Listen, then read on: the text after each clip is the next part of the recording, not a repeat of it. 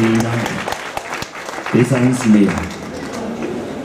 Vor zwei Wochen haben wir eine Single daraus veröffentlicht, den Radios angeboten und ich bin total überglücklich. Wir wurden in Deutschland in zwei Wochen in den Airplay-Charts im Radio auf Platz 2 und in Österreich dasselbe. Das ist unglaublich für uns, dass das so funktioniert, dass wir so schnell raufschießen.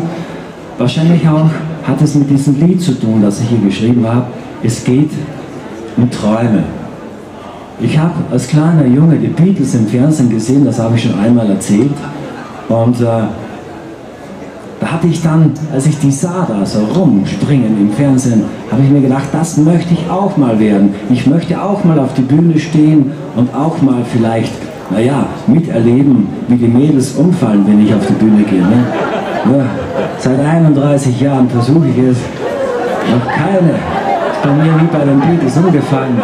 Mein Gott, ich gebe es jetzt auf. ist egal.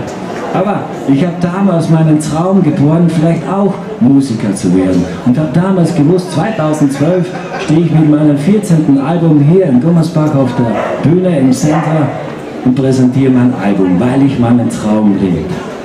Und wenn man seinen Traum nicht lebt, dann stirbt er, dann ist er weg.